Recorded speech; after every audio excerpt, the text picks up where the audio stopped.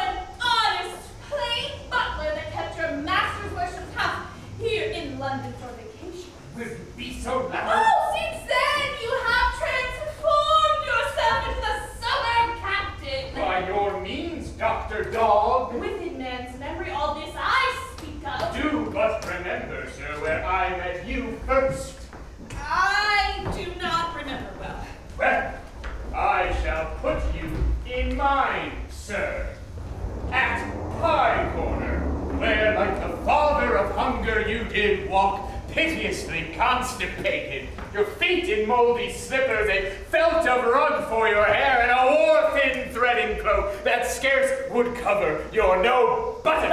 Well, sir! When all your alchemy and your algebra, your animals, vegetals, and minerals, your conjuring, conning, and your dozen of trades could not relieve your core with so much linen would make you tinder, but to see a fire I gave you countenance, built you a furnace, drew you customers, advanced all your black arts, lent you beside a house to practice in.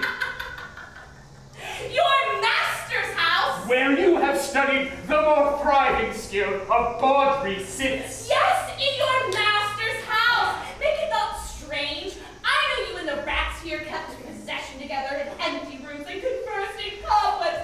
your mistress's death hath broke up the house. You might talk softly, rascal.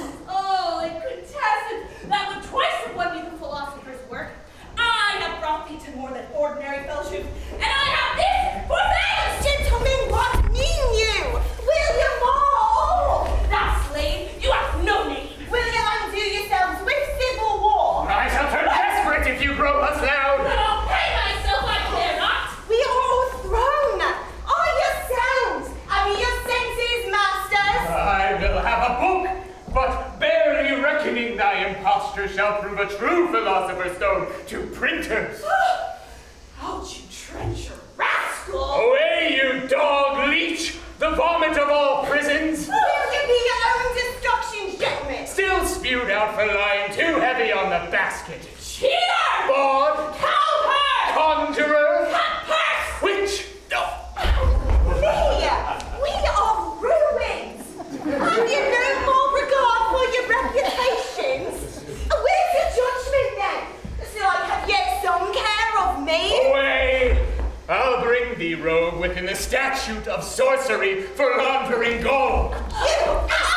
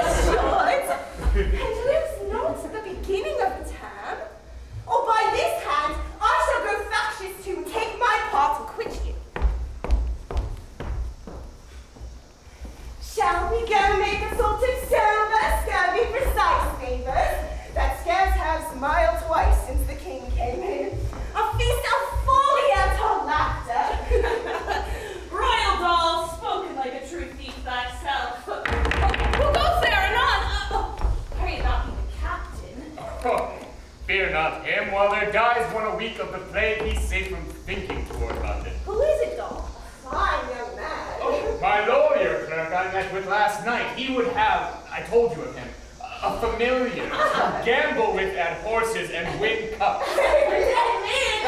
Stay. Who shall do it? Get you your robes on. I will meet him as going out. And what shall I do? Not be seen away.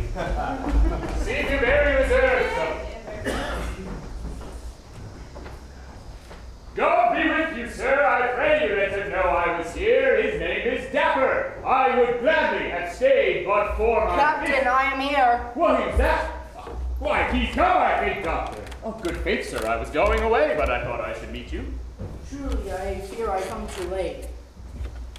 Is this the man? This is his worship. Have you filled him in? The law is such a thing, and he believes your motives are but a risk for his prowess. A risk? Hear me, sir. You know the law better, I think. I should, and the dangers too. What do you think of me? That I'm a fraudster? I'll tell the doctor so. Do good, sweet captain. Come, noble doctor, pray thee let's prevail. This is the gentleman, and ah. he is no impostor. Captain, I have returned you all my answer. I would do much, sir, for your love, but I neither may nor can.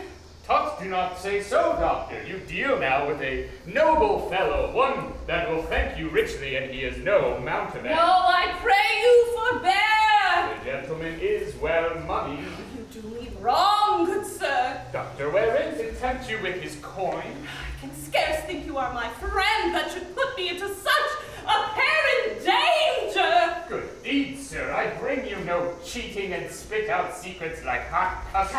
Captain, No more talk with this windbag. Come, let's be gone. I pray you let me speak with you. he did call you, sir. I'm sorry I embarked myself in such a business. F- But he did call your worship. first, hear me. Not a syllable less you take. I pray you, sir. Upon no terms but an affidavit. Why, your humor then must be law. Why now, sir, speak. Now I might hear you with mine honor, and so may this gentleman too. Why, sir? No whispering. By heaven, you do not know the danger you put yourself in if I do give him this charm, this familiar.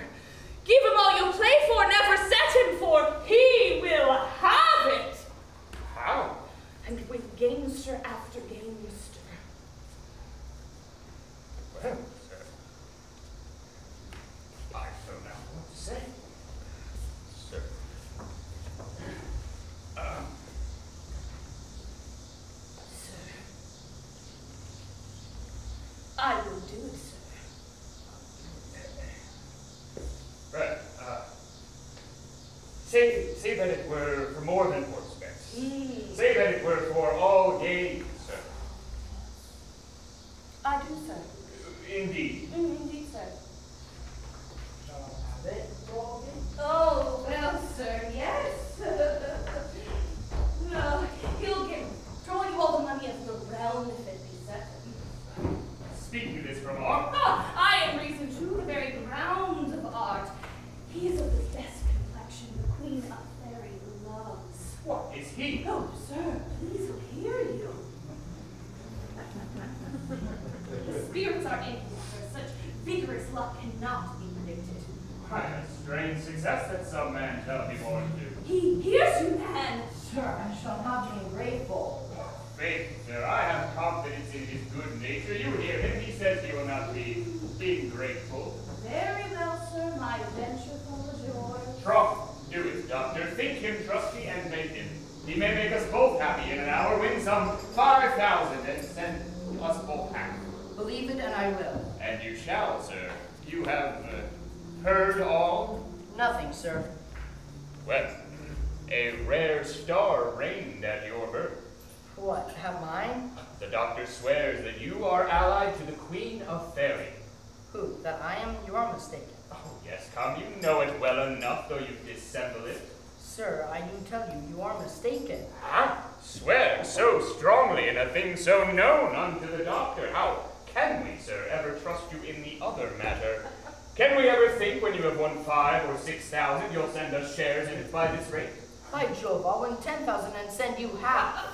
No, no, he does but jest. Go to, go thank the doctor. He's your friend, to take it so. I thank his grace. So, more shillings. Must I? Must you? What else is thanks? Will you be trivial? Doctor, when must he come for his charm? Shall I not have it with me now? Oh, sir, there must be a world of ceremonies passed first. You must be bathed and fumigated. Besides, the Queen of Fairy does not rise till noon. Well, see, her grace, whate'er it cost you for a thing that I know, it will be somewhat hard to compass. But however, see her, she may have to leave you all she has. It is the doctor's fear. How will it be done? Let me alone, take you no thought, do you, but say to me, Captain, I'll see her grace. Captain, I'll see her grace. Oh, uh, what an honor! Uh, conduct him out the back way. oh, sir, a sixth one you